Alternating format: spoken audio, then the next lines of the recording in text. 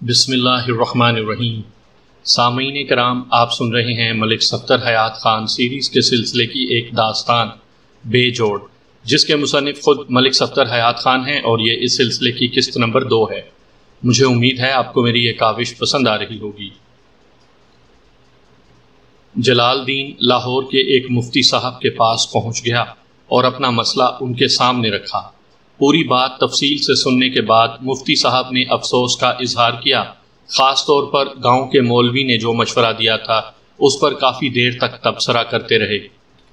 अस्तफ़िरल्ला अल्लाह माफ़ करे कैसे कैसे जाहिल लोग इस दुनिया में पाए जाते हैं। मुफ्ती साहब ने कानों को हाथ लगाते हुए कहा, दीन को मज़ाक बना लिया है इन लोगों ने। भाई, अगर इनका इल्म ज़्यादा नहीं है तो वो ऐसे पेचीदा मसाइल के बारे में कुछ नहीं जानते तो उल्टे सीधे मशवरे देने की क्या ज़रूरत? साफ़ मना कर दें, किसी दूसरे आलम दीन से रजू करने की हिदायत करें। ये कुर्ब क़यामत की निशानियाँ हैं बेटा। इसीलिए तो मैं आपकी खिदमत में हाजिर हुआ हूँ, जनाब। जलालदीन ने बसद एहतराम कहा। मैं तो खुद मौलवी साहब की तजवीज़ से मुतफिक नहीं था। उनकी बात दिल को नहीं लगती थी। भला ये क्या बात हुई कि निकाह तो किसी और लड़की से हुआ हो और बीवी और कोई बन जाए? आप मेरी रहनुमाई फरमाएँ, जनाब। मुफ्ती साहब ने कहा, अल्लाह मुझे दीन को समझने की तोफीक दे बेटा। मैं अहकाम दीन की रोशनी में तुम्हारे मसले का जायज़ा लेने के बाद इस नतीजे पर पहुँचा हूँ कि जो कुछ हुआ, बेखबरी में हुआ। नीयतों का हाल तो सिर्फ़ खुदा ही जानता है। तुमने मुझे जो सूरत हाल बताई है, मैं उसकी बिना पर तुम्हें मशवरा दूँगा, क्योंकि इस सिलसिले में नीयत का बहुत दखल है। चंद लम्हों तक खामोश रहकर वो सोचते रहे, फिर धीरे धीरे मसले की जुजियात को जलालदीन के गोश गुजार करने लगे। अगर ये सब कुछ सोचे समझे मंसूबे के तहत हुआ है, यानी इसमें तुम लोगों की रजामंदी शामिल है तो तुम चारों जना ऐसे गुनाह के मुरतकब ठहरोगे और तुम पर हद जारी हो जाएगी। इस्लाम ने इस सिलसिले में सज़ा का तयन कर रखा है। दूसरी सूरत वो है जो तुम्हारे साथ पेश आई, यानी जो कुछ भी हुआ, वो महज एक इतफाकी हादसा था, यानी इसमें तुम लोगों की मर्ज़ी या किसी किस्म की बदनीयती को दखल नहीं। इस सूरत में जो कुछ हुआ, तुम लोगों की बेखबरी में हुआ। चुनाचे तुम्हें गुनागार नहीं ठहराया जा सकता। तुम सबको चाहिए कि अल्लाह ताला के हजूर सर बसजूद होकर तोबा करो। अल्लाह ख़ताएँ माफ़ करने वाला है। मुफ्ती साहब एक लम्हे को रुके तो जलालुद्दीन ने सवाल किया, इससे हमारे निकाहों पर तो कोई असर नहीं पड़ा। नहीं बेटे, निकाह पर क्या असर पड़ेगा? मुफ्ती साहब ने समझाने वाले अंदाज में कहा, निकाह की शरय हैसियत में कोई फ़र्क नहीं आएगा। तुम्हारा निकाह जरीना से हुआ है। वही तुम्हारी जोजा होगी। इसी तरह कमालदीन की बीवी कलसूम ही रहेगी। लेकिन मुफ्ती साहब, जलालदीन ने कुछ कहने के लिए मुँह खोलना चाहा तो मुफ्ती साहब ने हाथ के इशारे से उसे रोक दिया और फिर खुद कहा, इस बात को यूँ समझो बेटा, जैसे कोई शादीशुदा शख्स किसी गैर औरत के साथ अगर नाजायज़ ताल्लुक कायम कर ले तो इस सूरत में वो गुनाह का मुरतकब तो होगा, मगर उसकी अपनी बीवी से निकाह पर कोई असर नहीं पड़ेगा। निकाह की शरय हैसियत में कोई फ़र्क नहीं पड़ेगा। यानी हमें दोबारा निकाह पढ़वाने की ज़रूरत नहीं होगी। बिल्कुल नहीं। मुफ्ती साहब ने कतियत से कहा। फिर इस मसले के एक और पहलू पर रोशनी डालते हुए बताया, अगर तुम भाइयों ने उसे अपनी गैरत का मसला बना लिया है, जैसा कि आमतौर पर होता है, और तुम चाहते हो कि वही औरतें तुम्हारे साथ रहें, जिनके साथ तुमने शब अरूसी मनाई है, यानी जरीना कमालदीन की बीवी बने और कलसूम तुम्हारी बीवी बने तो इस सूरत में तुम लोगों को पहले निकाहों की शरय हैसियत को ख़त्म करना होगा। तुम जरीना को तलाक दोगे और कमाल दीन को कलसूम को तलाक देना होगी। फिर दोनों तलाक याफ्ता औरतें इद्दत की मुद्दत पूरी करने के बाद दोबारा शादी कर सकेंगी। उस वक्त अगर तुम चाहो तो कलसूम के साथ निकाह पढ़ा सकोगे। इसी तरह कमाल दीन का निकाह जरीना से हो सकेगा। वैसे अगर तुम अपनी तसल्ली करना चाहते हो तो किसी दूसरे आलम दीन से भी मशवरा कर लो। जलालदीन की तसल्ली हो गई थी। अब वो किसी और से मशवरा नहीं करना चाहता था। उसने मुफ्ती साहब का फतवा तहरीरी सूरत में हासिल कर लिया और वापस एमनाबाद चला आया। कमालदीन ने उस फतवे को मानने से इनकार कर दिया, जरीना मेरी बीवी है। मौलवी साहब ने जो कह दिया है, वही ठीक है। जलालदीन ने उसे बहुत समझाया। अल्लाह दिता की नसीहतों का भी कोई असर ना हुआ। वो जरीना से दस्तबरदार नहीं होना चाहता था। दो माह तक पंचायत कुचहरी चलती रही। कभी ख्याली में चौपाल जमी रही तो कभी एमनाबाद में सलाह मशवरे हो रहे थे। इस दौरान में ऐसे मौाक़े भी आए कि दोनों भाई आमने सामने खड़े हो गए, लेकिन जलालदीन की सुलाजू तबीयत ने उन्हें दस्तों गिरेबा होने से बाज रखा। दो माह बाद चौधरी हशमत अली ने एक अजीब गरीब फैसला सुना दिया। बस, बहुत हो गई अल्लाह दिता मेरी पगड़ी और कहाँ कहाँ उछालोगे? वो गुस्से में बोल रहा था, आज मैं अपनी बेटियों को आज़ाद करवा कर ही दम लूँगा। जरीना और कलसूम शादी के दूसरे रोज ही वापस अपने मैके ख्याली चली गई थी। चौधरी हशमत अली की आज़ाद करा लेने से मुराद तलाक थी। अल्लाह दिता ने कहा यह क्या कह रहे हो हशमत अली? तुम्हारी मत तो ठिकानी है। अब ही तो मुझे मत आई है, चौधरी ने गुस्से से फुनकारते हुए कहा। भाई की मिन्नत समाजत सुनकर रहमते का दिल ढह गया था। मैं तो इन शादियों के हक में ही नहीं था। आज तो मैं ये किल किल मुका के ही जाऊँगा। अल्लाह दिता शरीफ आदमी था। कुछ लोगों ने भी समझाया, जान छुड़ाओ जी, कितने फंस गए। अल्लाह दिता ने बेटों पर दबाव डाला, अपनी इज़्ज़त का वास्ता दिया, मगर दोनों इस काम के लिए कथन तैयार नहीं थे। जलालदीन जरीना को तलाक देने के बारे में सोच भी नहीं सकता था। वो उसकी शरई बीवी थी। वो जरीना के साथ ज़िंदगी गुजारने के ख्वाब देख रहा था। सदा का फर्मा बरदार जलाल आज बाप का हुक्म मानने से इनकारी था। कमाल के साथ ज़रा दूसरी नोयत का मसला था। वो बाप के मजबूर करने से पेशतर ही कलसूम को तलाक देने के लिए आमादा हो चुका था, लेकिन जरीना के ख्याल को दिल से निकालने पर तैयार नहीं था। उसने अपने ससुर चौधरी हशमत अली से कहा, चलो मैं कलसूम को तलाक दे देता हूँ, मगर बाद में मेरी शादी जरीना से होगी। मुँह संभाल के गालकारोए काका, चौधरी हशमत अली ने धाड़ कर कहा, अब जरीना का नाम लिया तो जबान काट डालूँगा। अल्लाह दिता ने समझा बुझाकर कमालदीन को वहाँ से चले जाने पर राज़ी कर लिया। पुत्र, तुम बाहर जाकर बैठो, मैं बात कर रहा हूँ। जाते जाते कमाले ने मुड़कर कहा, अब मैं और बर्दाश्त नहीं कर सकता, अब्बा। इन्हें भी अब सबक पढ़ाना ही होगा। अशरफ उर्फ़ अच्छू ने कहा, ओए, आ जा फिर मैदान विच। आज दो दो हाथ हो ही जाएँ। कमाल गुसीली नज़रों से अच्छू को घूरते हुए कमरे से निकल गया। अच्छू के बेहुदा रवैये ने जलाल को भी तैश में मुबतला कर दिया था। वो खासी देर से अपना गुस्सा जब्त किए बैठा था। जाओ, हम तलाक नहीं देते, तुम क्या कर लोगे? जलालदीन ने तेज लहजे में कहा। अच्छू धमकिया मेज लहजे में बोला, ओए जलाल अच्छू के जलाल से पना मांग ले ओए। गिच्ची मरोड़ देंगा। हम भी देख लेंगे। तू कितना बड़ा बदमाश है। कमालदीन ने अंदर आकर कहा। अच्छू की धमकी उसके कानों तक पहुँच गई थी। मैं तो जरीना की वजह से चुप था। ओए, मैं टोटे कर दूँगा। अच्छू ने कमाल दीन पर झपटने की कोशिश की। तू मुझे जानता नहीं है। जलालदीन ने उसे अपने बाजुओं में जकड़ते हुए कहा, ओए, रुक जाओ इस सरकारी सांड। फिर उसे धक्का देकर पीछे हटा दिया। अच्छू अपने अकब में खड़े हुए दो आदमियों पर जा गिरा। उन्होंने उसे संभाल लिया। कुछ लोगों ने जलालदीन को भी मजबूती से पकड़ लिया था। अच्छू ने बिफरे हुए लहजे में कहा तुम्हारी गर्दन तो अब मैं ही तोड़ूँगा, बच्चू। पंचायत में मौजूद लोगों ने बीच बचाव करवा के मामले को ठंडा कर दिया, वरना दो चार लाशें गिरने का खदशा पैदा हो गया था। उस रात अल्लाह दिता को दिल का दौरा पड़ा, जो उसके लिए मौत का प्याम्बर साबित हुआ। ख्याली से ताज़ियत के लिए सिर्फ़ रहमत बीबी एमनाबाद आई थी। अल्लाह दिता उसका सगा भाई था, उसे तो हर हाल में आना ही था। कुछ रोज़ के बाद कमाल दीन ने कलसूम को तलाक दे दी मगर जलालदीन अपने फैसले पर डटा रहा। उसे कई बार अच्छू की तरफ़ से संगीन नतज की धमकियाँ भी दी गईं, मगर उसने उन धमकियों की कोई परवाह नहीं की, और आज सुबह वो ट्यूबवेल वाले कमरे में मुर्दा पाया गया। कमालदीन की कहानी सुनकर मैं सोच में पड़ गया।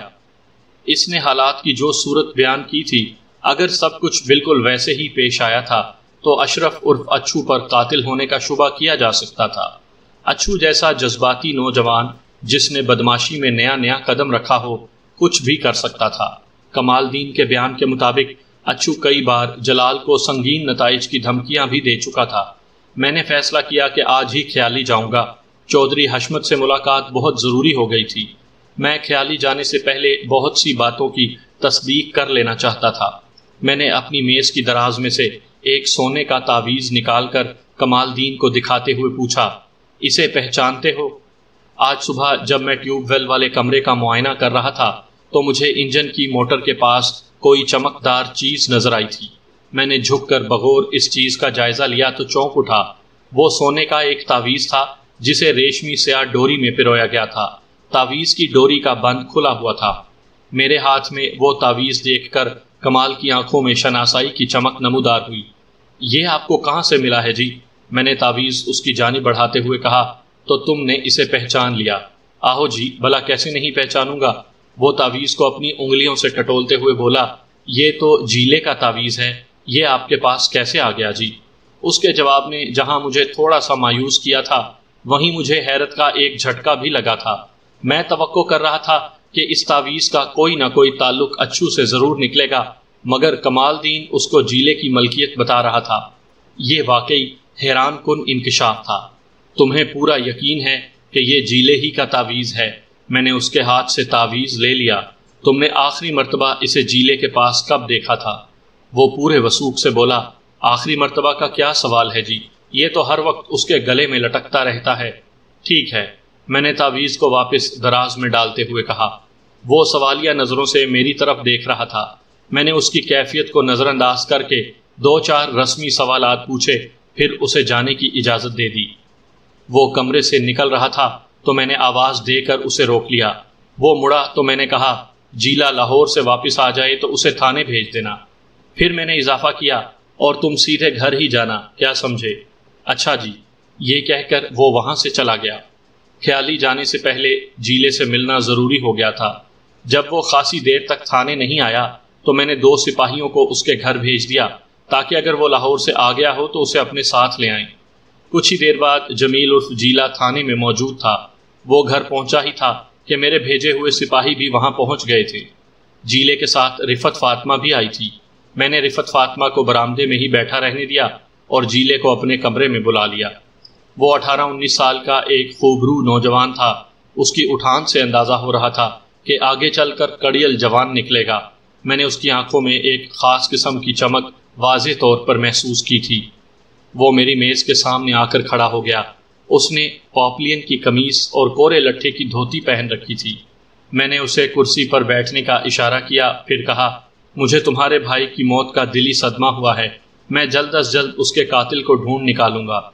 वो खामोश नज़रों से मुझे देखता रहा। मैंने पूछा, तुम आज सुबह कितने बजे लाहौर रवाना हुए थे?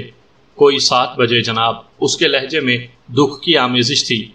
भाई की मौत ने उसे खासा मुतासर किया था। मैंने सवाल किया, जब तुम घर से निकले थे, उस वक्त जलालदीन घर में ही था। उसने बताया, नहीं जी, वो तो सुबह सवेरे भाई कमाल के साथ खेतों में चला जाता था। सुबह सवेरे कितने बजे? मुझे नहीं पता जी, जमील ने कहा। मैं देर से सोकर उठता हूँ। वो जब खेतों में जाते हैं तो मैं सो रहा होता हूँ। आज मुझे लाहौर जाना था, इसलिए अम्मा ने जल्दी जगा दिया था। मैंने कहा, तुम्हारे घर से निकलकर सड़क तक जाने के लिए खेतों में से गुजरना पड़ता है। सड़क तक जाने वाली पगडंडी ट्यूब वेल के करीब से गुजरती है। जब तुम लाहौर जाने के लिए ट्यूब वेल के पास से गुजर रहे थे तो तुमने जमालदीन को देखा था। जी हाँ देखा था। वो ठोस लहजे में बोला, मैंने पूछा, तुम्हारी उससे कोई बात हुई थी? नहीं जी। भाई जलाल उस वक्त ट्यूब वेल की धार के नीचे बैठा नहा रहा था। उसका जवाब सुनकर मेरे दिमाग में जैसे एक नन्ना सा बल्ब जलने बुझने लगा। कमाल दीन ने अपने बयान में बताया था कि जब उसने खासी देर तक ट्यूब वेल की आवाज़ नहीं सुनी तो उसे तशवीश हुई और वो जलाल को देखने ट्यूब वेल के कमरे की जानब आया था, जहाँ उसे भाई की लाश मिली थी। उस वक्त तकरीबन आठ बजे का वक्त था, जबकि जमील ट्यूब वेल के नज़दीक से सात बजे गुजरा था और उसने जलाल को वहाँ नहाते हुए देखा था। यानी उस वक्त ट्यूबवेल चल रहा था, वरना जलाल के नहाने का क्या सवाल था? क्या तुम्हें यकीन है कि वो जलाल ही था? जो ट्यूबवेल की धार के नीचे बैठा हुआ था, मैंने सवाल किया, जी हाँ मुझे यकीन है। मैंने कहा यह बात वसूख से किस तरह कह सकते हो? मैं खुद कई बार ट्यूबवेल की धार में से गुसल कर चुका हूँ। जब ट्यूबवेल की धार नहाने वाले के सर पर गिरती है तो धार का पानी एक गलाफ की सूरत में नहाने वाले को ढांप लेता है। फिर नहाने वाले का रुख भी ट्यूबवेल वाले कमरे की जानब होता है, यानी देखने वाले सिर्फ़ उसकी पुष्ट ही को देख सकते हैं। वो भी इस सूरत में कि अगर बहुत ही करीब से देखा जाए, तुमने पगडड्डी पर से गुजरते हुए कैसे पहचान लिया कि नहाने वाला शख्स तुम्हारा भाई जलाल ही था? वो एक लम्हे के लिए तजब्जुब का शिकार नज़र आया। उसकी चमकदार, गहरी आँखों में उलझन के आसार दिखाई दिए थे, लेकिन दूसरे ही लम्हे वो पुरमाद लहजे में बोला, करीब ही ट्यूबवेल वाले कमरे की दीवार के साथ भाई जलाल के कपड़े पड़े हुए देखे थे मैंने। उसकी दलील में वज़न था। मैंने पूछा तुमने वहाँ रुककर जलाल के नहाने का इंतज़ार किया था। नहीं जनाब। यानी उस वक्त तुम्हारी जलाल से कोई बात नहीं हुई थी। वो बोला, उस वक्त बात करने की ज़रूरत ही नहीं थी। कल रात ही भाई जलाल ने मुझे कह दिया था कि मैं सुबह लाहौर जाकर ट्यूबवेल का कुछ सामान ले आऊँ। तुम वो सामान लाहौर से ले आए हो? जी हाँ मैंने पूछा, तुम किस किस्म का सामान लेने गए थे? मोटर के पटों की एक जोड़ी लाना थी। मोटर के बुश थे और कुछ दूसरा सामान था। उसने फर फर तफसील बयान कर दी। मैंने सुबह ट्यूबवेल वाले कमरे में नए पटों की एक जोड़ी मगरबी दीवार पर टंगी देखी थी। खैर, ये कोई इतनी अहम बात नहीं थी। आमतौर पर एहतियातन ऐसी चीज़ें मंगवा ली जाती हैं। मोटर का पटा किसी भी वक्त टूट सकता है। मैंने मेज़ की दराज खोली, फिर वही तावीज़ उसके सामने रख दिया, जिसके बारे में कमाल दीन ने बताया था कि वो जमील के गले का तावीज़ था। तलाई तावीज़ पर नज़र पड़ते ही वो चौंक गया। मैंने पहली मरतबा उसकी आँखों में बेचैनी के आसार देखे थे। उसने झपट कर वो तावीज़ मेरी मेज़ से उठाने की कोशिश की, लेकिन मैंने उसकी कोशिश नाकाम बना दी। ये मेरा तावीज़ है, आपके पास कैसे पहुँच गया? मैंने उसके सवाल को नज़रअंदाज करते हुए सवाल किया, तुमने ये तावीज़ कहाँ रखा था? ये हमेशा मेरे गले में रहता है, उसने जल्दी से कहा। लेकिन आज सुबह जब मैं उठा तो ये गायब था। मुझे पहले ही देर हो चुकी थी। अम्मा ने हालाँकि मुझे जल्दी जगा दिया था। फिर भी घर से निकलते निकलते सात बज ही गए थे। उसी अफरा तफरी में मैं तावीज़ भी तलाश नहीं कर सका। तुम जब रात को सोने के लिए लेटे तो ये तुम्हारे गले में मौजूद था। जी हाँ मौजूद था। मैंने पूछा, तुम जिस कमरे में सोते हो, वहाँ और कौन कौन सोता है? मैं और भाई कमाल एक ही कमरे में सोते हैं, उसने कहा। पहले भाई कमाल और भाई जलाल दूसरे कमरे में सोते थे फिर शादी वाले झगड़े के बाद से भाई कमाल ने मेरे कमरे में सोना शुरू कर दिया। मैं इस तलाई तावीज़ को वापस दराज में डाल चुका था। इस केस की गुमशुदा कड़ियाँ एक एक करके मिल रही थी, मगर इसके साथ ही मेरे लिए उलझनों में इजाफा होता जा रहा था। बहुत सी बातें वजाहत तलब थीं। जब तक उनकी वजूहत सामने नहीं आ जाती, तफ्तीश में दुशारी के इम्कान थे। मेरी तफ्तीश के नतीजे में अब तक तीन मशकूक अफराद सामने आ चुके थे।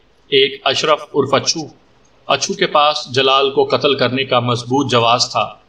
जलाल ने उनके हसब मंशा अभी तक जरीना को तलाक नहीं दी थी। फिर अच्छू कई बार जलाल को जान से मार देने की धमकियाँ भी दे चुका था। वो अपने ख़ानदान की बेइज्जती का बदला लेने के लिए कत्ल कर सकता था। उसके बाद मकतूल के भाई कमाल और जमील थे। दोनों ने कुछ ऐसे बयान दिए थे जिनसे एक दूसरे की नफ़ी होती थी। कमाल के बयान के मुताबिक ट्यूबवेल चला ही नहीं था। इस बात की तरदीद जमील के बयान से हो जाती थी। जमील ने मकतूल को नहाते हुए देखा था। फिर जाए वकुआ पर जमील के गले का तावीज़ पाया गया था। जो जमील के बयान के मुताबिक रात ही में उसके गले से गायब हो गया था। अगर वो रात में सोते वक्त गले से कहीं गिर गया था तो फिर ट्यूबवेल वाले कमरे में कैसे पहुँच गया? तावीज़ खुद चलकर तो वहाँ पहुँच नहीं सकता था। जमील ने बताया था कि ट्यूबवेल पर रुके बगैर सड़क की जानब चला गया था।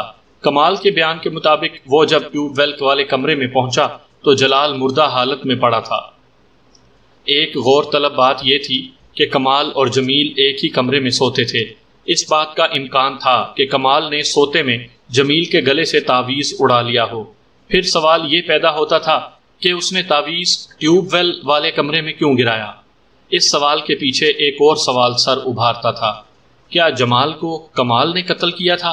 अगर ऐसा ही था तो फिर इस कत्ल की कोई वजह भी तो होनी चाहिए। सरे दस तो एक ही वजह नज़र आती थी। मकतूल की वजह से कमाल की पसंदीदा औरत उसके हाथ से निकल गई थी। अगर मकतूल मुफ्ती के फतवे पर इसरार ना करता और गाँव के मौलवी के मशवरे पर अमल कर लेता तो आज जरीना कमाल की बीवी होती। क्या महज इतनी सी बात के लिए कमाल बड़े भाई जलाल को कत्ल कर सकता था? दूसरी जानब जमील की ज़ात भी मशकूक थी। वो मकतूल का छोटा भाई था। उसके गले का तावीज़ जाए वकुआ पर पाया गया था। अगर वो वहाँ नहीं गया था तो फिर तावीज़ की वहाँ मौजूदगी क्या मायने रखती थी? अगर फ़र्ज़ कर लिया जाता कि कमाल ने जमील का तावीज़ रात में चुरा लिया, फिर सुबह बड़े भाई को कत्ल करके वहाँ वो तावीज़ फेंक दिया तो इससे ये बात सामने आती थी कि कमाल इस कत्ल के केस में छोटे भाई जमील को फांसने का इरादा रखता था। मगर क्यों? ऐसा करने में उसका कौन सा मफाद वाबस्ता था? इस सूरत में बज़ाहिर तो कोई वजह नज़र नहीं आती थी, जबकि पहली सूरत में इस बात का इम्कान था कि कमाल ने जरीना के छिन जाने का जिम्मेदार बड़े भाई को ठहराया हो और इंतकामन उसे कत्ल कर दिया हो। लेकिन कत्ल का इल्ज़ाम छोटे भाई के सर डालने वाली बात समझ में नहीं आती थी। मैंने फ़िलहाल इस बहस में जहन खपाने के बजाय सामने बैठे हुए जमील से सवाल किया, तुम्हारी मासी जैनब कहाँ रहती है? उसके लिए ये एक गैर मुतव सवाल था। उसने चौंक कर मेरी जानब देखा। मैंने ये सवाल जानबूझकर किया था। कमाल दीन ने अपने बयान में मासी जैनब का ज़िक्र बड़े उकताए हुए अंदाज में किया था और ये भी कहा था कि जीले यानी जमील को बिगाड़ने में मासी जैनब का पूरा पूरा हाथ है। जमील के बिगड़ने से कमाल की ना जाने क्या मुराद थी, मगर मुझे उसके तर्ज तकल्लुम ने चौंका ज़रूर दिया था। जमील उर्फ़ जीला ने जवाब दिया मासी जैनब वांडो में रहती है। वांडो का ज़िक्र करते हुए उसके चेहरे पर एक रंग सा आकर गुजर गया। मैंने इस्तफसार किया, सुना है तुम्हारा वहाँ बहुत आना जाना लगा रहता है। वो एक लम्हे तजब्जुब का शिकार रहने के बाद बोला, आपको ये बात भाई कमाल ने बताई होगी। तुमने ये अंदाज़ा किस तरह लगा लिया? कोई और तो ऐसी बात कर नहीं सकता, वो बेपरवाही से बोला, जाने कमाल भाई को मुझसे क्या दुश्मनी है? ख्वाम पूरे पिंड में ज़रा सी बात का ढंडोरा पीट रहा है। वो ज़रा सी बात क्या है, जीले पहलवान? मैंने बेतकल्लुफ़ी से पूछा, कमाल क्यों तुम्हारे पीछे पड़ा हुआ है? वो अपने भाई कमाल की मुखालफत में बोलने पर आमादा नज़र आता था। यही मेरा मकसद भी था। मैं चाहता था कि वो कमाल के लिए अपने दिली जज्बात का खुल कर इजहार करे। मैंने महसूस किया था कि कमाल ने भी जमील का ज़िक्र करते हुए किसी गर्म जोशी का मुजाहरा नहीं किया था। इसीलिए अब मैंने दानिस्ता मासी जैनब का तस्करा छेड़ा था। जमील से बेतकल्लुफ़ी से बात करने का मकसद भी यही था। वो जी, कोई ख़ास बात नहीं है थानेदार साहब, जमील ने बताया। आप ही बताएँ, प्यार करना कोई जुर्म तो नहीं है ना जी? प्यार करना तो वाकई कोई जुर्म नहीं था, मैंने पूछा। क्या तुम किसी की मोहब्बत में गिरफ़्तार हो गए हो? अपने गिरेबान में कोई नहीं झांकता जनाब। वो मेरे सवाल को नज़रअंदाज करते हुए अपनी ही तरंग में बोल रहा था। खुद तो जरीना के चक्कर में ख्वार फिरता है। दिन रात उसके नाम की माला जपता है और चला है हम पर पाबंदियाँ लगाने। हम्म। आखिरी अल्फाज अदा करते हुए उसके चेहरे पर नापसंदीदगी के जज्बात नुमाया हो गए थे। मैंने पूछा, कमाल ने तुम पर क्या पाबंदी लगा दी है? वो हर वक्त मुझे वांडो जाने पर डांट टपट करता है, जमील ने कहा। हालाँकि अब तो मैंने वहाँ जाना बहुत ही कम कर दिया है। पिछले आठ दस दिन से मैंने उधर का रुख भी नहीं किया। उसने आठ दस रोज का तस्करा इस अंदाज से किया था, जैसे आठ दस महीने की बात कर रहा हो। वांडो और मासी जैनब के ज़िक्र पर मैंने उसके चेहरे पर एक ख़ास किस्म की सुर्खी झलकती देखी थी। मुझे यकीन हो गया कि दाल में कुछ काला है। ज़ाहिर था कि कोई दिल का मामला था। किसी लड़की का चक्कर था। मैंने पूछा, क्या तुम पहले रोज़ाना वांडो जाया करते थे? वो कुर्सी पर पहलू बदल कर रह गया, मगर मुँह से कुछ नहीं बोला। मैंने उसकी दुखती रग पर उंगली रखते हुए कहा, मासी जैनब की बेटी का नाम क्या है? रज्जो, उसके मुँह से ये नाम बेसाख्ता अदा हुआ था, पर वो ज़रा संभल कर बोला, नाम तो उसका रजिया है, मगर सब उसे रज्जो रज्जो कहते हैं। मैंने अचानक सवाल किया, तुम लाहौर से ट्यूबवेल का जो सामान खरीद कर लाए हो, वो कहाँ है? वो जी वो जी घर में रखा है, वो मेरे गैर मुतव सवाल से गड़बड़ा गया था। मैंने घर में कदम रखा ही था कि सिपाही मुझे लेने आ गए थे। तुमने वो सामान किस दुकान से ख़रीदा था? मेरा मतलब है, उस सामान की कोई रसीद तो होगी तुम्हारे पास? जी हाँ मेरे पास रसीद मौजूद है। उसने अपनी धोती की डब में से एक मुड़ा तुड़ा कागज़ निकाल कर मेरी जानी बढ़ाते हुए कहा, ये लें जनाब रसीद। मैंने उस रसीद का बगौर मुताला किया। वो ब्रांडरथ रोड, लाहौर की एक दुकान का कैश मेमू था, जिसके मुताबिक एक जोड़े ट्यूबवेल की मोटर के पटे मोटर के बुश और दीगर छोटा मोटा सामान खरीदा गया था। कैश मेमू पर आज की तारीख दर्ज थी।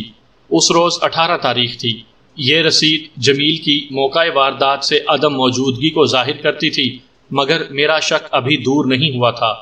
मैंने उस रसीद को अपनी मेज़ की दराज में डालते हुए सवाल किया, तुम किस बस में लाहौर गए थे? वो ठग से बोला, चौधरी ट्रेवल्स। तुम जब बस में सवार हुए तो क्या वक्त हो रहा था? मैंने अपने बराबर में बैठे हुए मुसाफिर की घड़ी में वक्त देखा था। उसने बताया, उस वक्त सात बजकर पच्चीस मिनट हो रहे थे। तुम्हारे ख्याल में जलालदीन का कातिल कौन हो सकता है? ये मालूम करना तो आपका काम है। उसके लहजे से एतमाद झलक रहा था। मैंने कहा, हम तो मालूम कर ही लेंगे। तुम्हें अगर किसी पर शक हो तो उसका नाम बताओ। इस तरह हम जल्द अज जल्द कातिल तक पहुँच जाएँगे। वो खामोश नज़रों से मेरी तरफ़ देखता रहा। मैंने नरम लहजे में पूछा क्या तुम ये नहीं चाहते कि तुम्हारे भाई का कातिल गिरफ़्तार हो? मैं क्यों नहीं चाहूँगा जनाब? वो अजीब से लहजे में बोला, मगर मैं इस सिलसिले में आपकी कोई मदद नहीं कर सकता। अच्छू के बारे में क्या कहते हो? मैंने उसकी आँखों में झांकते हुए सवाल किया, सुना है उसने बड़ी थरथली मचाई हुई है। वो जलालदीन को धमकियाँ भी लगाता रहता है। उन धमकियों की वजह से ही कल भाई जलाल और भाई कमाल में बहुत मुँह मारी हो गई थी, उसने बताया। मेरा अपना ख्याल तो ये है कि अच्छू जाली अक्स डालकर हमें ख्वामखा परेशान कर रहा था। अगर उसने कुछ करना ही होता तो इस तरह डंड ना मचाता। जमील के मुँह से एक ऐसी बात निकल गई थी जो मेरे लिए बहुत अहम थी। मैंने पूछा, तुमने बताया है कि कल जलाल और कमाल में खासी गर्मा गर्मी हो गई थी। मैंने खासी का लफज दानिस्ता अपने जुमले में इस्तेमाल किया था। झगड़ा किस बात पर हुआ था? वही पुराना झगड़ा है, जी, उसने कहा। उस जरीना ने तो दोनों भाइयों में फूट डाल दी है। एक घर में रहते हुए भी उन दोनों के दिल एक दूसरे से कोसों दूर हैं। वो एक लम्हे को खामोश होकर कुछ सोचता रहा, फिर सिलसिला इकलाम जारी रखते हुए कहने लगा, मैंने भाई जलाल को बहुत समझाया था कि मट्टी डालें इस फितने पर और जरीना को तलाक दे दें। अच्छू की दुश्मनी से भी जान छुट जाएगी और छोटे भाई का गुस्सा भी जाता रहेगा। मगर भाई जलाल का जवाब भी बड़ा माकूल था। उसका कहना यह था कि अगर उसने भाई कमाल की खातिर जरीना को तलाक दे भी दी तो कौन सा जरीना ने भाई कमाल को मिल जाना है? चौधरी हशमत अली ने अगर जरीना की शादी भाई कमाल से करनी होती तो वो अब्बा जी को इतने चक्कर ही क्यों लगवाता? फिर अच्छू की धमकियों के डर से वो क्यों पीछे हट जाए? कहता तो भाई जलाल भी ठीक ही था, लेकिन इस तरह कमाल का दिल उसकी तरफ़ से मैला हो गया था।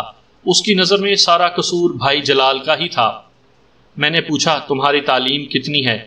कोई ख़ास नहीं जी, जमील ने कहा, आठ जमातें पास हों। मगर बातें तो तुम बहुत समझदारी की करते हो। बस जी, आप जो भी समझ लें। उसने जवाब दिया, उसके चेहरे पर उलझन आमेज, उकताहट, वाजह नज़र आ रही थी। मैंने मजीद कोई सवाल नहीं किया, और इस हिदायत के साथ उसे रुख्सत कर दिया कि वो मुझे बताए बगैर इलाका नहीं छोड़ेगा। कमाल के बयान से कातिल की तलाश के लिए ध्यान सीधा अच्छू की जानब जाता था, लेकिन जमील का बयान सुनने के बाद कमाल की शख्सियत कुछ ज़्यादा ही मशकूक हो गई थी, जबकि जाए वारदात पर जमील का तावीज़ भी पड़ा मिला था। जमील की ज़ात भी शुबे से बालातर नहीं थी। जमील और उसकी माँ रिफत फातमा जब थाने के अहाते से बाहर निकल गए तो मैंने हवालदार खुदा बख्श और दो सिपाहियों की ड्यूटी लगा दी कि वो सादा लिबास में रिफत फातमा के मकान की निगरानी करें ख़ास तौर पर जमील और कमाल पर गहरी नज़र रखें। और उनमें से अगर कोई गाँव से बाहर जाने की कोशिश करे तो उसे इस इरादे से बाज रखा जाए। खुदा बख्श के साथ जाने वाले सिपाहियों में से एक को मैंने हिदायत कर दी थी कि वो ट्यूबवेल वाले कमरे पर भी कड़ी निगाह रखे। मैं चाहता तो इस काम के लिए हवालदार खुदा बख्श के बजाय एएसआई गुलाम गौस को भी भेज सकता था, मगर रिफत फातमा और कमाल उसे शक्ल से पहचानते थे। इस सूरत में मेरा मकसद फोत हो जाता। थोड़ी देर बाद मैं गुलाम गौस के साथ ख्याली रवाना हो गया। हमारी वापसी अगली सुबह हुई थी। उस वक्त हल्का हल्का उजाला हो रहा था, जब हम थाने में पहुँचे। चौधरी हशमत अली से मुलाकात बड़ी सूदमंद साबित हुई थी। मैंने कुछ ज़रूरी इंतज़ाम किए, फिर आठ सिपाहियों की एक टीम लेकर एमनाबाद रवाना हो गया।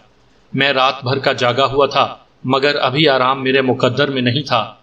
हमें जो कुछ भी करना था, बहुत जल्द करना था।